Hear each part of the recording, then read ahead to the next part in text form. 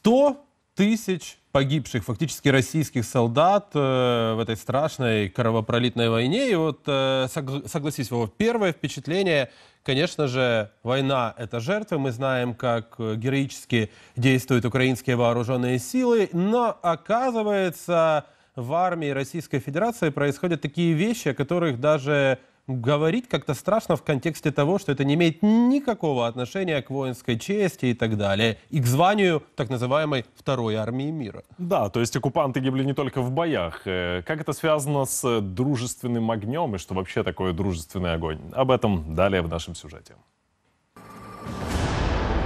Больше ста тысяч убитых рашистов.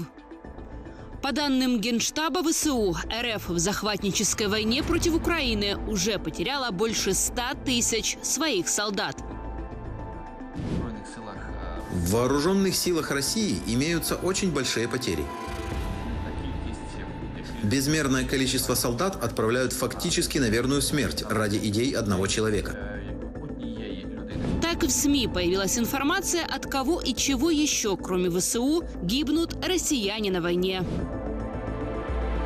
Так, за время полномасштабного вторжения в Украину российские военные погибали не только в боях, но и несли небоевые потери. Об этом идет речь в расследовании издания «Важные истории». За 10 месяцев полномасштабного вторжения в Украину российские военные гибли не только в боях с украинцами, но и от friendly fire – огня по своим. Такие потери несут все рода войск российской армии в Украине. Враг несет потери от так называемого дружеского огня. Это следствие низкой подготовки танковых и артиллерийских экипажей, а также отсутствия взаимодействия и связи между подразделениями. Генштаб ВСУ. О том, что россияне гибнут от дружественного огня, сообщил не только Генштаб ВСУ, но и признавали террористы с так называемой ДНР, воюющие на стороне России. После Мариупольской операции мы посчитали, что большую часть потерь мы понесли от дружественного огня. Кто-то даже назвал цифру 60%. Выполняем задачу, как вдруг из тыла на головы начали сыпаться мины. Кто? Откуда? Поднимаем коптер, находим минометную батарею, мчимся туда. Кто такие парни? Минбат такого-то полка из России. Почему по нам лупите? Мы не по вам, мы по точке на карте. Нам задачу нарисовали, мы ее выполняем. Так вас же никто не корректирует. Стреляйте по карте по старинке. Ну вот так. Мы потом от них не отходили, сами корректировали, загрузили им смартфонные программы, научили пользоваться, и такого столько было. Важные истории пишут, что о том, как свои расстреливали своих же, передавали родственникам с фронта и мобилизованные россияне. При этом Российское Министерство обороны скрывает данные о таких потерях. В российской армии к солдату относятся как к обычному инструменту, как к мясу, которое можно послать, отправить на фронт, несмотря на то, что с ним произойдет. Ведомство перестало публиковать статистику об умерших от всех причин. Последние официальные данные о количестве смертей в российской армии известны за 2015 год. Тогда статистика смертей всплыла в документах госзакупки на страхование военных. Они показывают, что в российской армии это случалось чаще, чем, например, в американской и британской. В расследовании утверждается, что халатность командования, низкое качество военной подготовки истощает российские войска еще до отправки на фронт. Но одной из самых распространенных причин гибели оккупантов называется неосторожное обращение с оружием. Вот эти проблемы, ну то есть кровь, смерть и убийство на территории России начались сразу после того, как этим людям выдали оружие. То есть до этого э, массовых, ну, было при- принцип э, зафиксирована гибель мобилизованных.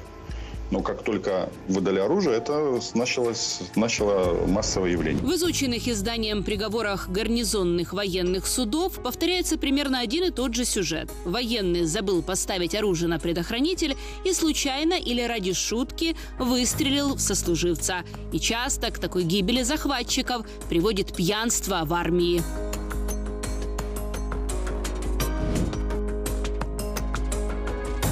Употребление военнослужащими алкоголя во время службы – это главная причина происшествий в вооруженных силах, таких как травмы, конфликты, убийства, по крайней мере, в мирное время на территории вне зоны боевых действий. Военные эксперты Conflict Intelligence Team.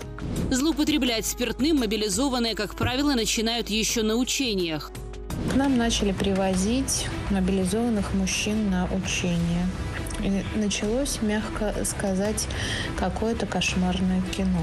Эти люди, даже не знаю, откуда их привезли, они просто сметают со всех прилавков все бутылки водки. У этих мужчин нет ни режима, ни правил, ни уставов. Некоторых любителей спиртного, таким повезло больше, успевали завернуть домой еще до отправки на фронт.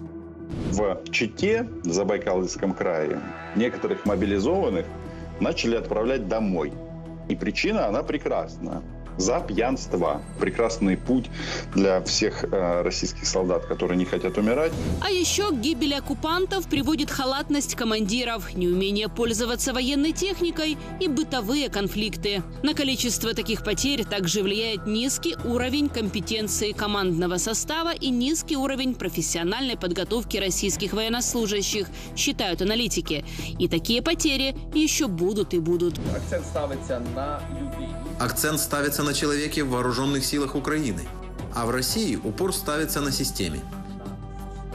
Багато в Росії Многие российские солдаты погибают из-за плохой одежды, из-за беззащитности, из-за того, что их фактически отправляют под пушки. відправляють е, під гармати. Но на сотни тысяч убитых рашистов украинские военные не остановятся и обещают и дальше уничтожать оккупантов до последнего плохого русского солдата.